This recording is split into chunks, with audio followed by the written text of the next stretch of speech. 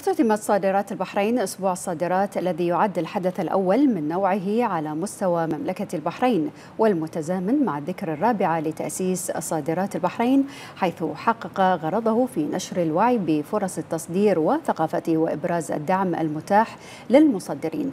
وللمزيد حول هذا الموضوع معنا عبر الهاتف الأستاذة زينب متروك أخصائي أول بقسم التسويق والترويج في صادرات البحرين. نرحب بك أستاذة زينب بداية ما أهمية أسبوع صادرات البحرين؟ يا هلا أختي مساكم الله بالخير. أول شيء ومثل ما خبرتي قلتي إن أسبوع الصادرات يعتبر الحدث الأول من نوعه على مستوى المملكة واللي تزامن مع ذكرى الرابعة لتأسيسنا صادرات البحرين. ففي خلال الأسبوع المثمر شارك فيه أكثر من 400 مشارك و15 متحدث من الخبراء من مختلف القطاعات آه، واللي تم من خلاله عقد عدد من الجلسات النقاشية.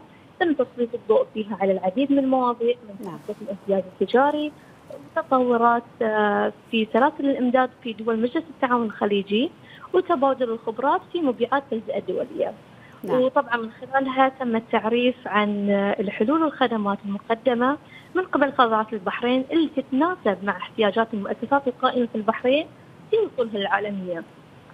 آه وطبعا هذا كل شيء كان جزء من فعاليات الأسبوع العالمي لرياده الأعمال آه وبالتأكيد يعني الأسبوع آه أسبوع الصادرات حقق غرضه في نشر الوعي بفرص التصدير وثقافاته يعني وإبراز الدعم المتاح للمصدرين من قبل صادرات البحرين وشركائها. نعم. وعلاوة على ذلك يعني خلال أسبوع صادرات تم آه، إبرام العديد من الشراكات المثمرة بين صادرات البحرين ومختلف الجهات المحلية والدولية. نعم. اللي طبعا آه، كوننا إحنا في صادرات البحرين نحرص دائما على تقديم الخدمات والحلول للمؤسسات القائمة في البحرين في جعلها عالمية. نعم. وطبعا هذا الهدف الأساسي. نعم. أستاذة ما هي مخرجات أسبوع صادرات البحرين؟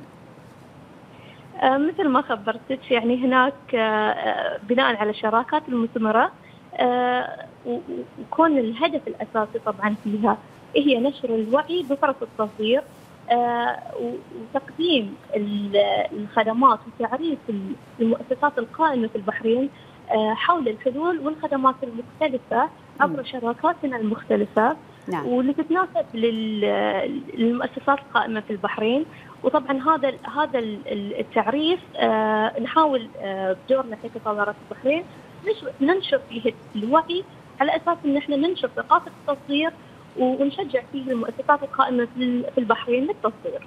نعم. الأستاذة زينب متروك أخصائي أول بقسم التسويق والترويج في صادرات البحرين شكرا جزيلا لك.